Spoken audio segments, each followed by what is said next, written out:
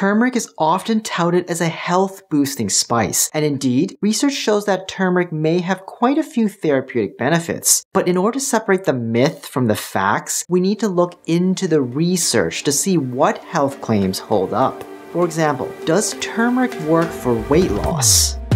Studies analyzing various forms and doses of turmeric and its active ingredient curcumin report an average weight loss of about 0.6 to 1 kilogram, along with a slight reduction in waist circumference. However, these waistline effects were only seen at high doses, over 1000 milligrams daily for at least 8 weeks. But there are some major caveats here. Many of the studies showing these positive effects are small, poorly conducted, and carry a high risk of bias bias. Additionally, most studies were conducted in Iran and China, not North America, and when similar research was conducted in the US, turmeric had no measurable effect on weight loss beyond a placebo. So what can we take away from this? First, turmeric might provide a very small weight loss benefit, though the effect is probably insignificant. The observed weight loss averaging 1 to 2 pounds over several months is within the range of normal weight fluctuations, even without trying to lose weight.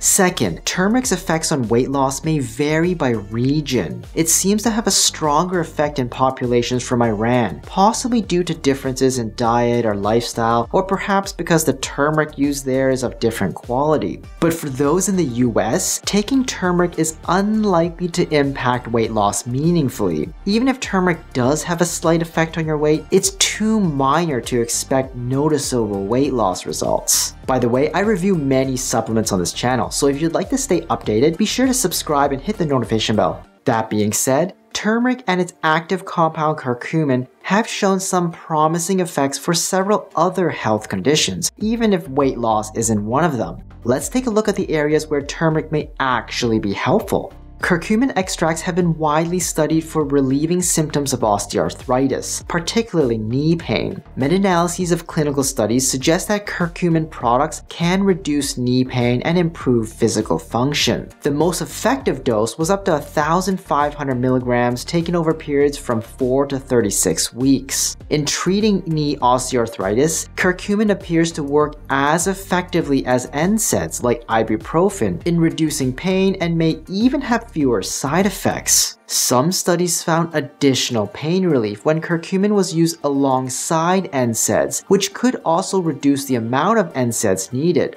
However, these benefits are only seen with bio-optimized forms of curcumin, such as nanoparticle or liposome formulations, rather than with raw turmeric extracts. As a side note, topical turmeric creams have been tested as well, with one study finding that applying a 5% curcumin ointment reduced knee osteoarthritis pain. So curcumin has shown a solid ability to relieve pain and improve knee function in osteoarthritis, potentially as effective as some NSAIDs with fewer side effects. Just remember, these benefits are only likely with bio-optimized curcumin, not regular curcumin powder or generic extracts.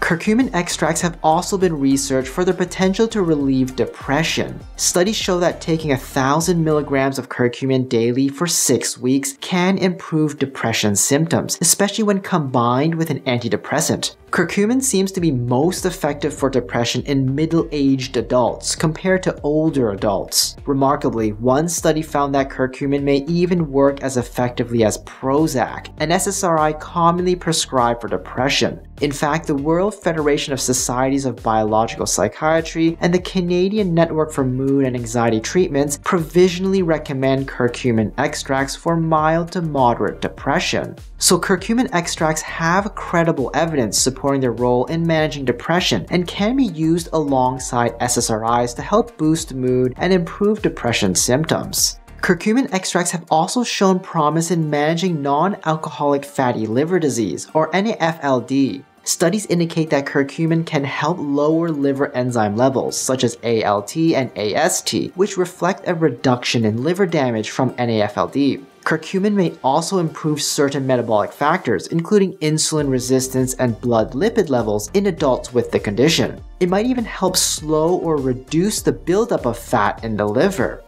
Oral turmeric may also benefit people experiencing heartburn. Research suggests that taking 500 milligrams of turmeric four times daily can relieve symptoms of indigestion or dyspepsia more effectively than a placebo. In fact, turmeric may be as effective as omeprazole, a common dyspepsia medication.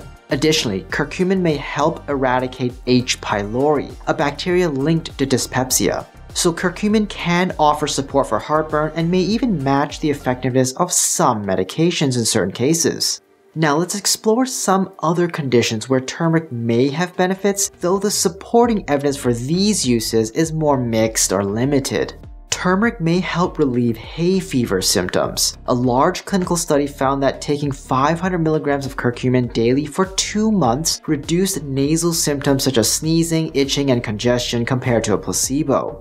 Curcumin might also offer mild support for blood sugar control in those with metabolic problems. For people with diabetes, research shows that curcumin can lower fasting blood glucose. However, its effect on blood sugar is not as strong as other supplements like fenugreek or apple cider vinegar. A meta-analysis of these trials showed that curcumin lowered fasting blood glucose by about 8 mg per deciliter and HbA1c by about 0.4%.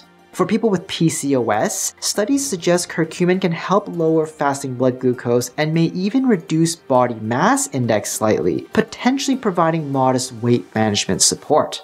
Curcumin may also contribute to reducing fat levels in the blood, although the improvements are likely minor a large meta-analysis found that doses of turmeric or curcumin up to 4,000 milligrams daily lowered triglyceride levels and slightly increased HDL or good cholesterol compared to a placebo. If you're thinking about using turmeric for its potential health benefits, there are some key things to know. First, turmeric and curcumin aren't exactly the same turmeric is the whole herb, while curcumin is the active compound in turmeric that most studies focus on for its health benefit. When choosing a turmeric supplement, look for one with a standardized amount of curcumin so you know how much of the active ingredient you're actually getting. Most research studies use curcumin extracts, not raw turmeric. Raw turmeric contains only about 3% curcumin by weight. So if you take 1000 milligrams of raw turmeric, you're only getting about 30 milligrams of curcumin. To match the 1.5 gram dose of curcumin that some studies use, you'd need roughly 48 grams of raw turmeric, or nearly 4 tablespoons per day. This is why for therapeutic effects, it's best to choose a standardized curcumin extract rather than raw turmeric powder. Another thing to consider is that curcumin has a low oral bioavailability, meaning it's not easily absorbed into the bloodstream when taken by mouth. Even very high doses, like 8,000 milligrams, don't lead to much curcumin in the blood. Taking curcumin with food may help a bit, but the improvement is usually small. For better absorption, manufacturers often use specialized forms of curcumin, which is what's commonly used in clinical studies. These bio-optimized curcumin forms are designed to help curcumin enter the bloodstream more effectively. You can also increase absorption by taking curcumin with piperine, a compound found in black pepper that enhances curcumin's absorption. So turmeric, particularly its active compound curcumin, does show some reliable benefits for certain health conditions. However, curcumin hasn't proven effective for weight loss on its own. It may still offer support for issues that can relate to obesity like blood sugar control or fatty liver disease, but it's not going to contribute to any weight loss. Hi, I'm Dr. Brian Yeung. Do you use turmeric? And what are your experiences with it? Let me know in the comments down below. And if you found this video helpful, please subscribe to the channel and leave me a like. Hit the notification bell if you want to stay up to date and share this video with someone you know who the info.